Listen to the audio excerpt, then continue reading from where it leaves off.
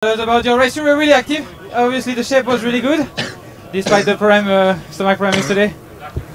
Uh, yeah, it was okay, but uh, I felt that this uh, one two percent were missing today. Uh, that's uh, yeah, it's a shame I couldn't uh, quite follow there on the Muur, but yeah, I tried. Uh, uh, yeah.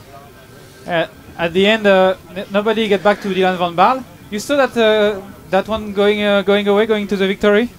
Yeah, I mean, uh, it was after the Molenberg. Uh, yeah, it was kind of a, a situation where everybody was waiting what's going to happen now, and then Van Baarle went and nobody, or yeah, there went a few guys with him and uh, nobody reacted, and then it was a long time, like uh, quite a slow tempo behind, and uh, yeah, there was always a Jumbo guy. As soon as somebody moved, there was another Jumbo guy with them. So yeah, chapeau. On track, in terms of form for the, the big uh, the big ones, you think? Yeah, I'm surprised uh, how good it went today, despite the problems I had uh, two days ago. So yeah, it's uh, it's going in the good direction. Thank you, Stefan. Thank you very much. fighting for top five, but